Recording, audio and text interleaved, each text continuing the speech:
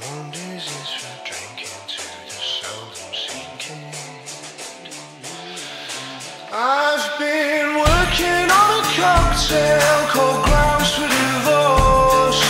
Whoa, whoa, whoa, whoa. polishing a compass that I hold in my sleeve.